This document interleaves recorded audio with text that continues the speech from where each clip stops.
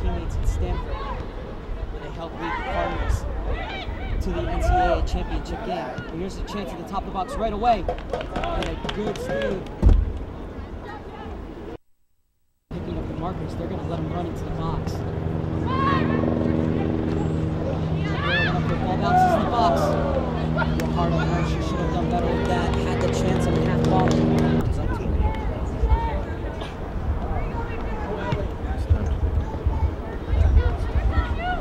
Flipped on by Quan. Oh, and McCarty's in. And once again, didn't lean over her shot on the volley. Price with the long runner. Getting ready to hurl this one into the box. And that's a good ball, and the header's there. Just over the net. This one coming. Space for Guajardo. One on one with Salmonen. Flicks it over her. What a save from Salmonen.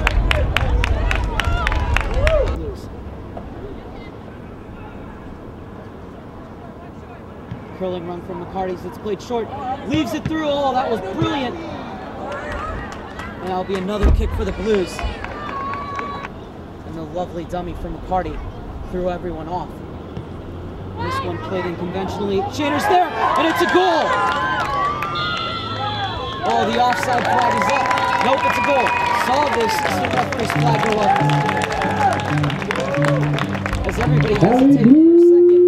But in fact, the captain, Christy Shaner, gets her second goal of the season. The pressure finally pays off for the Blues in the 33rd minute. Good flick on from Noguera. And Gordon finding the corner. That is a tremendous strike.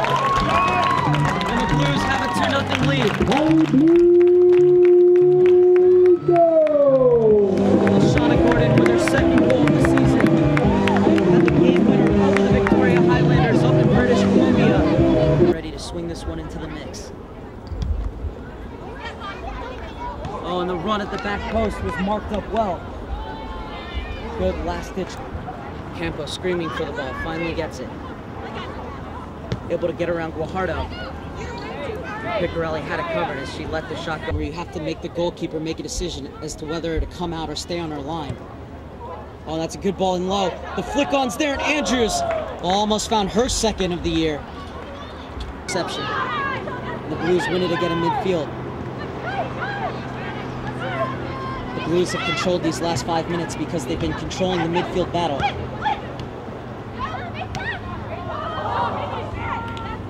Right up to that last pass, it was a thing of beauty to watch. Noguera.